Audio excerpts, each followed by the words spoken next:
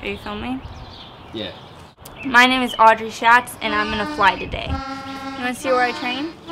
I've been doing like some sprints and um and uh, stretching and stuff, you know, because I gotta I gotta build up.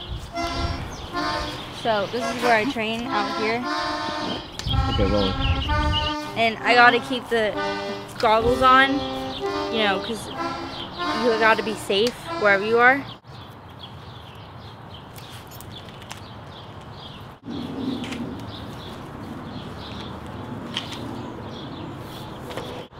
Do you need some help with that? No. Could you just Help you? Okay.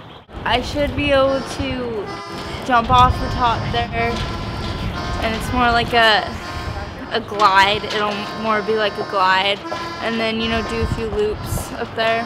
So that should work.